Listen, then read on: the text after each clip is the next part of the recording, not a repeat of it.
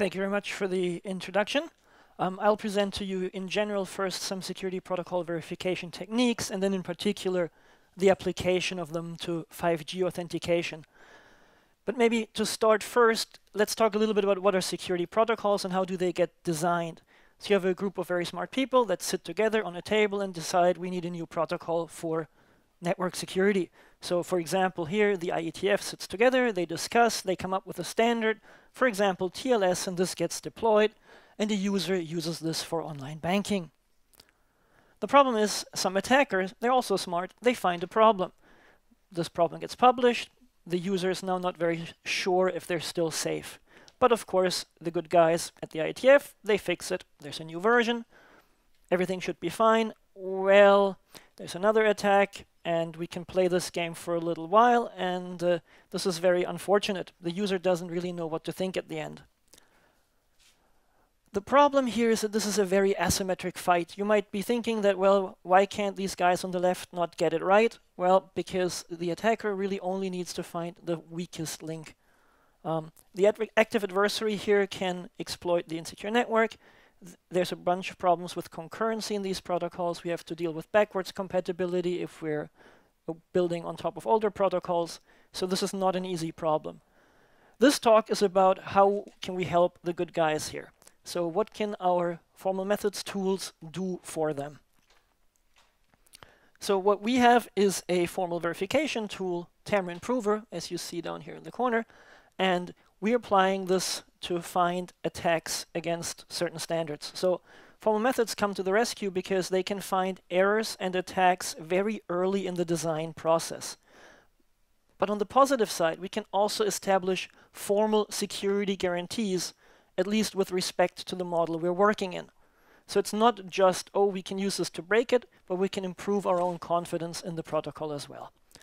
To be able to do this, though, we must be very explicit about the system specification, the environment specification, the threat model in particular, and what are the actual goals we want to achieve with such a protocol. So formal verification in this symbolic model, also called the Dolev-Yao model, works as follows. We first of all assume that the cryptographic primitives underneath are perfect. So we are not dealing with breaking the signing algorithm or the encryption algorithm. We're using those as building blocks. The security protocol itself is then encoded in a formal language with the syntax and semantics, and we model a network attacker, an active attacker that has full control on the, of the network, which is kind of the worst case scenario. This attacker can eavesdrop on all the messages, so everything that anyone sends out, the attacker learns, and the attacker can inject any message it desires. And not only those it has seen, so it's not just forwarding messages, but it can rebuild new messages from knowledge it can deduce from the received messages. Again, the cryptographic primitive is assumed perfect, but say the attacker has managed to gain access to some key, that it can decrypt everything encrypted under that key and use what it learns to build new messages. We then encode security properties, either as reachability or as equivalence properties. And I want to say that this level of uh, modeling is really the sweet spot between, on the one side, being precise enough to capture large classes of attacks, and on the other hand being automated enough that we can run these tools and get our results in reasonable time. Um, there's actually a number of different tools, and I will only be talking about this one tool that we've developed, Tamarin Prover, but there's several other efficient procedures and tools. Uh, but note one important caveat here. This basic problem is undecidable, so you cannot necessarily expect a catch-all solution. Now, maybe what's the difficulty? So first of all, we have to come up with a system specification. This answers the question, how does the system operate? But it also must answer the question, what environment are we in? Here the problem is that often design documents are both incomplete and also imprecise. Particularly the adversary model is often left unclear. We also on the other side here on the right, we have the security properties we want to verify. So what, what's our goal? What do we want to achieve with the protocol? Here, properties are often left implicit, also possibly imprecise. For example, we just say, oh, we want to authenticate. As we will see later in my talk, there's many different ways of authentication, different levels of authentication with respect to which partner. on what data? So those are all questions that we would have to answer. And then to link these two together, we have the system specification, and we want to check whether it satisfies the security properties, and we would like to give you a proof that it does. Here, the problem, of course, comes in the form of undecidability of the basic underlying problem, and uh, this is restricted. Even when the cases are restricted, it can be fairly intractable, but as I'm going to show you, we've been able to analyze 5G AKA, the current or next generation uh, key agreement protocol for mobile communication. So the, the tools scale well enough in practice. So to give you a little bit of background, but this is really the only slide I'm going to do this on for how these protocol analysis techniques work. In the example of the Tamarin prover, we have two things as input. We have a system S that specifies what our overall system is supposed to do, and we have a property P that says what shall it achieve. We translate these two things into constraint systems, so we get both constraints for the system and we negate the property. So we combine the system with the negated property, we run it through a dedicated constraint solver, and if we find a solution, that is, a solution says, I can satisfy all the constraints from my system and get the negation of the property, this means I have an attack. So in this case, the tool gives us such an attack trace, as you can see here on the slide, and we can then figure out what's going wrong and consider how we can fix this. The alternative is the tool can tell us that there is no solution. If there is no solution, this means we have actually proven that with respect to this specification of the system, the properties hold. Unfortunately, due to the undecidability, it can be that we run out of time or memory or simply patience. And, but in that case, there is hope. Our tool has an interactive mode in which you can look at the proof so far and uh, consider are there maybe some invariants that I know the protocol has? Well, I can encode those as hints to the tool, which can then take them into account, but will of course still prove overall that this is correct. All right. With that, I would first like to say thanks to all my collaborators on the Tamarin team who have developed the tool Tamarin, and then on what I'm calling here the 5G AKA team. No, we're not the developers of 5G AKA, we're the analyzers of this. And so with these groups of people, this is all joint work. 5G authentication. Why are we interested in this? Well, mobile communication is a big thing, as most of you know. Uh, there's 4.8 billion unique users in the world. About 60% of the world population has access to 4G networks. The next generation 5G is designed by the 3GPP, which has also designed 3G and 4G before, which is being deployed in two phases now. And the current phase one has been frozen this year, and we expect commercial service by 2020. It uses an underlying authentication protocol, which uh, is the AKA, Authenticated Key Agreement Protocol, that has the main goal of achieving a secure channel and authentication between the mobile phone and the base station it's talking to. Over the years, there have been different versions of this AKA protocol. In 3G, it was just called AKA. In 4G, it was called EPS AKA. And now we have 5G AKA as the next standard. The question is, of course, oh, well, the statement is we want 5G AKA to improve security, but then we have to ask the question, well, what do you mean? Which security guarantees exactly? What is the threat model and what are the security assumptions you make? So we want to formally analyze 5G AKA with our tool. So as you seen earlier, we have a standardization body that has released a document.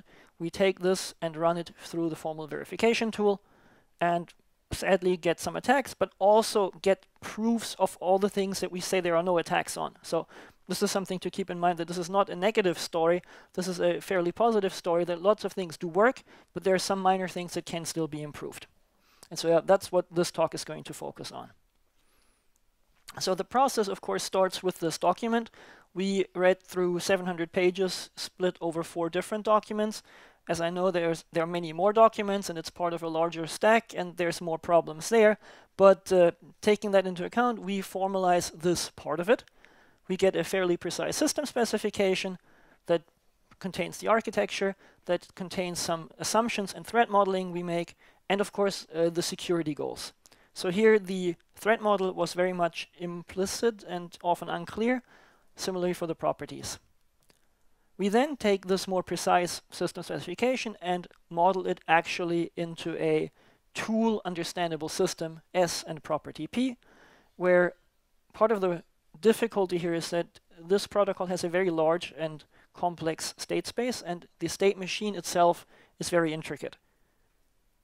We then encode our security properties not just under one threat model, but under many threat models to figure out what's the strongest one under which it still is secure.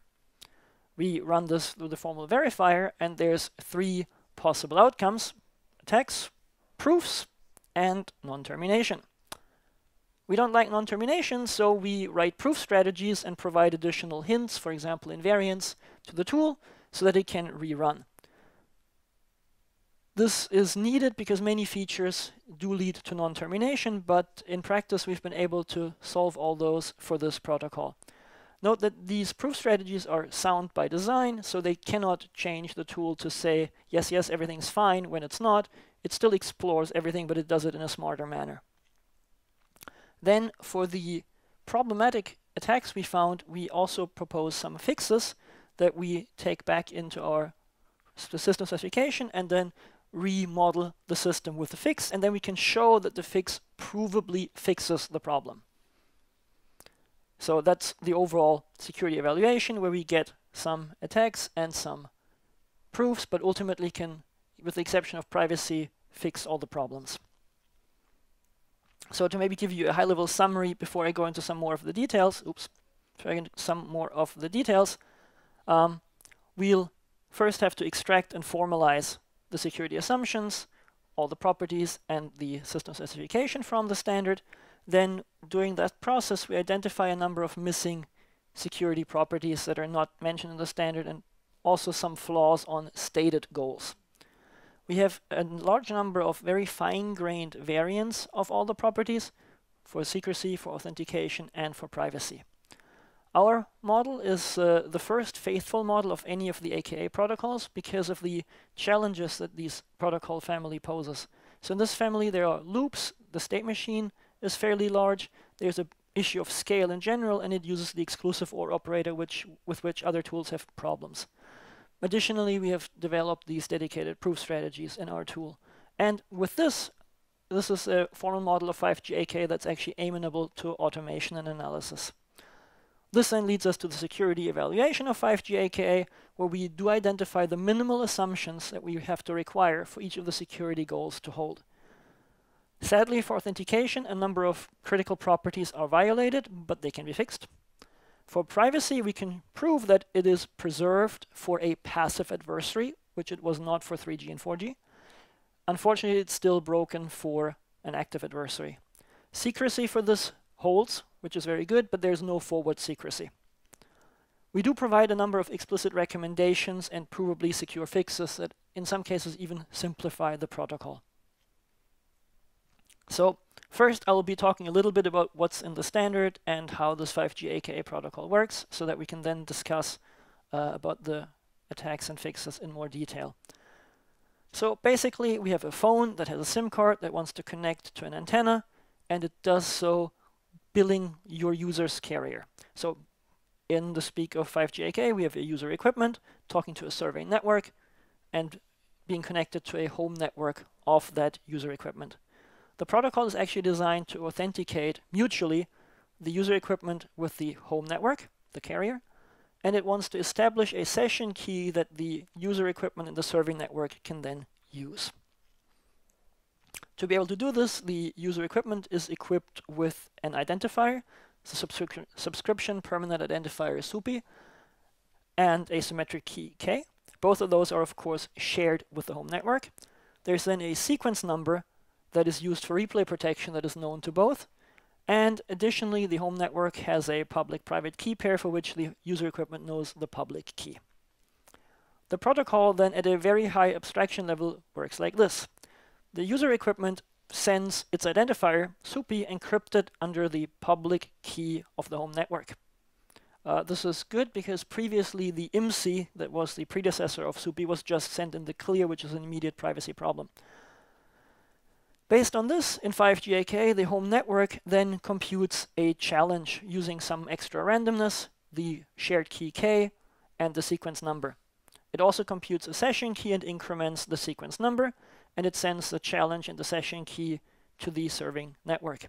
The serving network only forwards the challenge, and the user equipment then uses this challenge to first of all check whether it's an authentic and fresh challenge. If so, it sends back a success message including its expected response xres, which the home network validates and then sends the actual identifier SUPI and just a statement yes success to the serving network. It's also possible that this authenticity or freshness check fails. In this case, there's two options. If the freshness check fails, the user equipment will send back a synchronization failure. If the MAC, the message authentication code fails, then the challenge is not, or not authentic and it will send back a failure that this is not authentic. This differentiation actually leads to some of the privacy problems later. Uh, note that I have abstracted this quite a bit and I have hidden a lot of detail, which is of course part of our model, but we will not look at that today together. So now with this precise system specification, we would like to go into modeling and analyzing it. So our formal model contains about 500 lines of code. It includes the full state machine with the resynchronization mechanism. Uh, previous models usually omitted that a precise modeling of exclusive OR, and the sequence number counter. We also model the optional key confirmation to see whether it has impact on the security properties you can gain. We analyze all of this for an unbounded number of user equipments, serving networks, and home networks, and an unbounded number of sessions. So the adversary can spin up as many copies of anything as he likes. The threat model and security properties are actually larger than the system. There's about a thousand lines of those. This is because we check 124 what we call lemmas. We check for 124 properties to see which of them are fulfilled and which of them are not. We also have a powerful Dolev-Yao network attacker, as mentioned earlier. And our security goals range all the way from secrecy over authentication to privacy. Why do we have 124 different lemmas? Well, because we consider many different compromise scenarios where, for example, you could lose your session key, you could lose your long-term key, you could lose the private key of the home network. So we combine all of these possibilities and figure out under which loss scenarios is it still secure. So this way we get the strongest possible adversary model with respect to which 5G AKA still fulfills its goal. And then there's actually another about a thousand lines of code for the proof strategies that we had to write.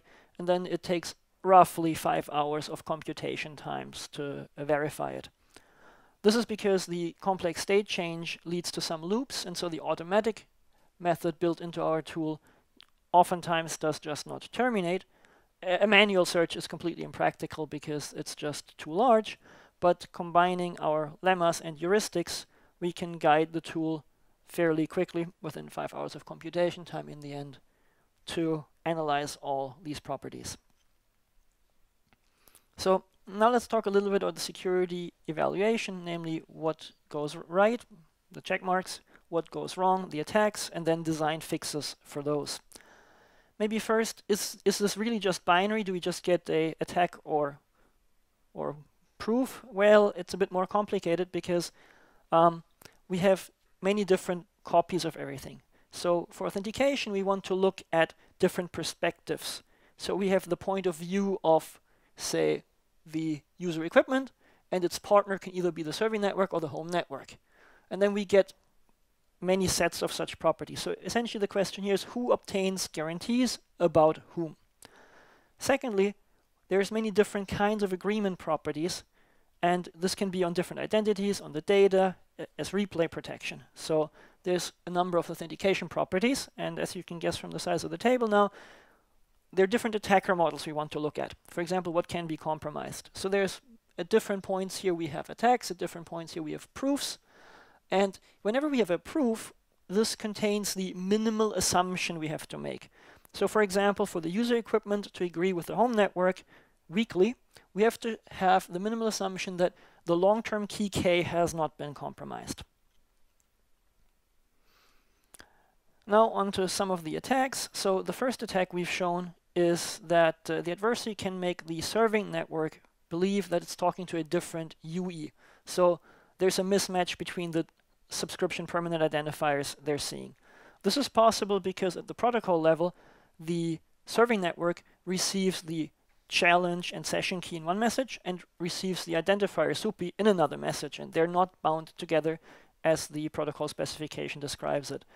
So here there's the issue that an attacker could interleave two sessions and swap the two subscription permanent identifiers.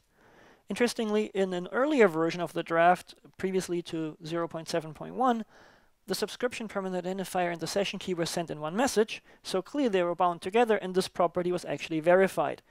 As we are adjusting our models with, with each of the new releases of the draft, we found this flaw after one of the updates. The fix is either to make explicit that we assume a binding channel between the serving network and the home network where such a reordering cannot happen, or simply cryptographically bind the messages together by sending them together, for example. Now, with that fix, we re-verify all the authentication properties, and we find that from the point of view of the user equipment, this time towards the serving network, we can get weak agreement as long as, well, key confirmation is done. The key confirmation step itself, though, is not mandatory in the standard. It's left open for subsequent procedures that may or may not do this. So the problem here then as an attack is that the, the attacker can impersonate any serving network towards the user equipment so long as key confirmation is not done because it's not mandatory. This is because the key is derived in such a way that it includes the secret. So the session key is included is derived using the long-term key k, the randomness, and more, but it does not necessarily include the serving network name. If it did, then everything would be fine. So the fix here is to either make key confirmation mandatory, which uh, then confirms that everything is okay. And we only need this in one direction, not actually in both direction as it's done in the standard. Addition alternatively, we can just add the serving network name to the message authentication code, which is sent by the home network. In this case, we can even completely skip the key confirmation step. And in this case, uh, our fix actually reduces the number of round trips that are required to get security.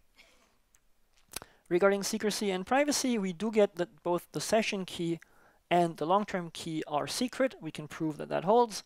We do not get forward secrecy of the session key because all session keys are derived from this one long-term key k. So if ever in the future your long-term key k is compromised because somebody stole your SIM card and extracts the key, which is very difficult, but then they could uh, manage to decrypt all your old sessions if they had stored them.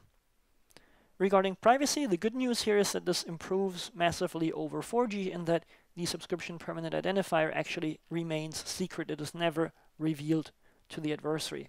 So this defeats the classical IMSI catchers that are just waiting for each phone to broadcast their IMSI. Unfortunately, it is not sufficient to ensure untraceability as long as there's an active attacker. So we found a problem there. The issue here is that there's no simple fix here.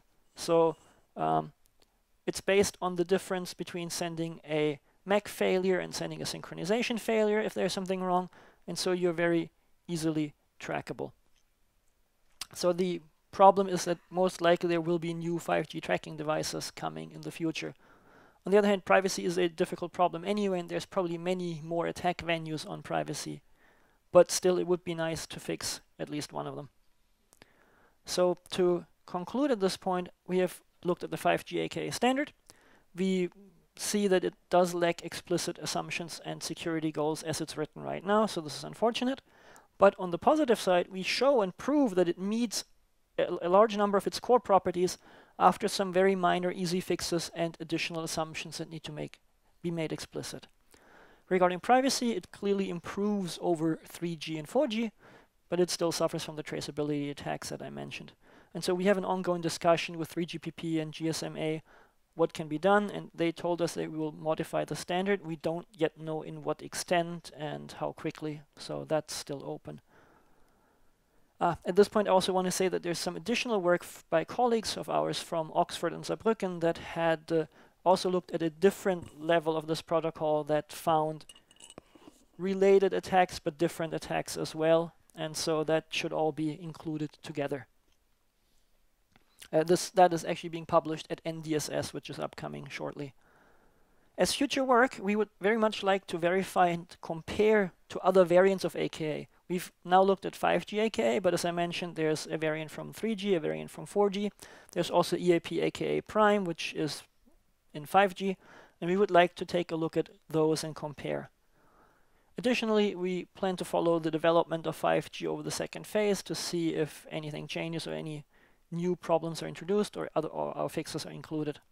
Regarding privacy, we would like to have a more precise and efficient verification for it. So far, we can only falsify in the one case.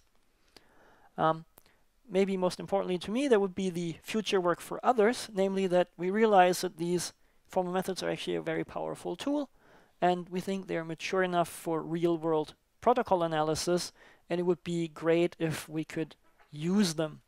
So this leads me to my bonus slide, which is that right now it worked like this. 3GPP releases a standard, we in academia read it, analyze it, and report back attacks. This is not very efficient. This is after the fact. People have possibly already implemented some things. This is not the best way to do it. It would be ideally working like this, where um, the protocol designers in their discussion sessions include the use of formal verification tools, which has, for example, happened in IETF's TLS 1.3 standardization, where they both used formal tools like Tamarin, but they also used cryptographers and cryptographic proofs during the design process before it was ever standardized. So that would be the ideal goal. And with this, uh, I would like to close my talk, and I'm happy to take your questions.